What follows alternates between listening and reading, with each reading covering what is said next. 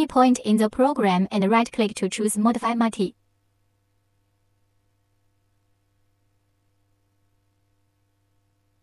Choose All to select all programming points to modify.